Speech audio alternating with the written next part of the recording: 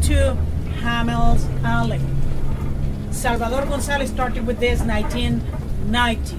Self-taught artist. When he started, nobody believes in this man. They thought he was a little bit crazy. But you're going to see the kind of work he has done in his community because they have lots of social problems. And he's been working with the neighbors to beautify uh, their community. You're going to love it. Outdoor mural, I would like to tell you that there's a whole crowd today because today is the Rumba Day.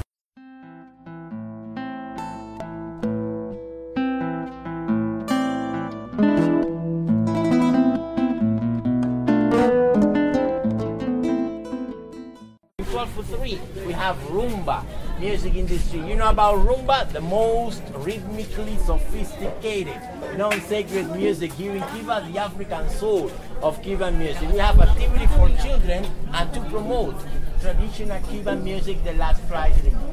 Remember that during the Atlantic slave trade were brought here to Cuba between 1523 1873 around 1,300,000 slaves from Senegal until Angola, western coast of Africa, and as a result, around 80 ethnic groups. And as a result, we practice here still alive.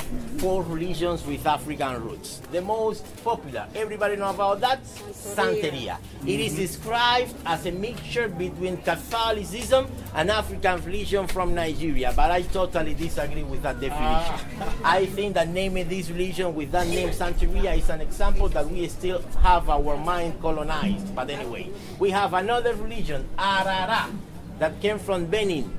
We have Reglas de Palomonte that came from Congo, Angola, and Mozambique, even Mozambique.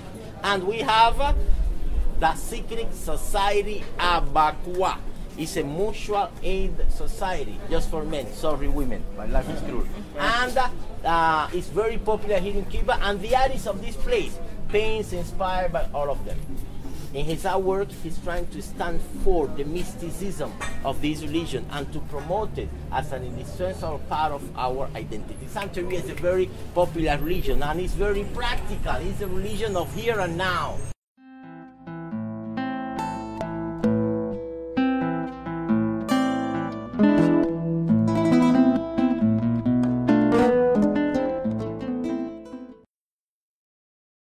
Popular permanent installation in this street. It is for the first time in the Cuban history people could see symbols of this religion outside, outdoor. It is inspired by Reglas de Palomonte. Reglas de Palomonte is a religion that has its origins in Congo. It is different from Santeria, but most of the people who are initiated into Santeria are first initiated into the mystery of Reglas de Palomonte. In this case, the center of their worship is the spirit of the dead. Uh, they worship the spirit of the dead and they are allowed to send the spirit of the dead to achieve some end. They are allowed to control the spirit of the dead. And in this case, it is inspired by the Nganga. Nganga is a magic receptacle, a magic pot, where it is gathered, an energetical microcosm, where it is gathered, the energy of the natural forces embodied in natural elements, and the energy of the spirit of the dead embodied in human remains. That's why they are regarded as a witchcraft, male witchers, but the priests of Reglas de Palomonte are the most important healers in this kind of culture and they are justly famous because their diagnostic skill and herbal treatments. Indeed, nowadays there are a lot of people that are doctors and they practice Palomonte or there are a lot of people that they are doctors and when they don't have the answer you know, they send people to see this kind of prints. In Cuba, Santeria and Palomonte are not divorced from science.